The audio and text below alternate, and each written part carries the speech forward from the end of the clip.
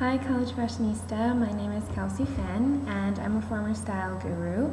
I started with this site in about 2009 2010. I had interviewed Amy for the Indiana Daily Student, which is IU's student newspaper, about her website at the time called IU Fashionista. And she had just launched it, but then was soon graduating right after.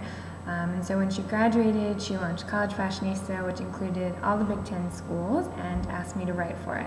And of course, I had to take the opportunity to do so because I knew that I was interested in style and writing about it, and the opportunity to photograph people on the street was really exciting to me because I had done personal photography and stuff, but never kind of in the public, so that was exciting and then the opportunity to run events, which one of my most memorable moments was probably when we ran a fashion show with Victoria's Secret. So I had the opportunity to style outfits and work with boutiques in the community um, and just do outreach. So I remember bringing my laptop and signing up like 75, 100 uh, people that had come to the show and just being like, click, you know, style on, um, which was great. It was fun and it gave me great experience and I really loved working for the site um, and it taught me a lot about just being confident in your product and your brand and what you're trying to push.